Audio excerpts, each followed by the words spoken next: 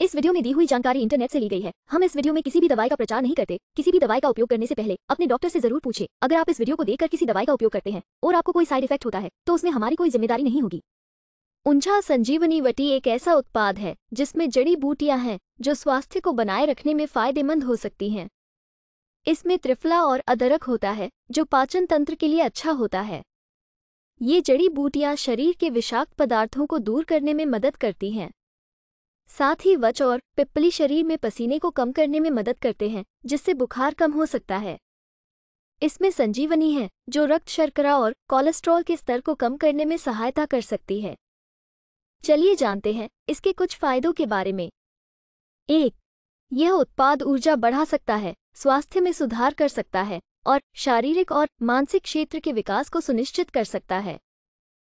दो ये हृदय और तंत्रिका तंत्र स्वास्थ्य का समर्थन करने में मदद कर सकता है। तीन, ये बैक्टीरिया के विकास को कम करने में मदद कर सकता है। वीडियो को पूरा देखने के लिए धन्यवाद। अगर आपको वीडियो अच्छी लगी हो तो वीडियो को ज़रूर लाइक करें। साथ ही हमारे चैनल को सब्सक्राइब करके नोटिफिकेशन बेल को और नोटिफिकेशन पर सेट करें।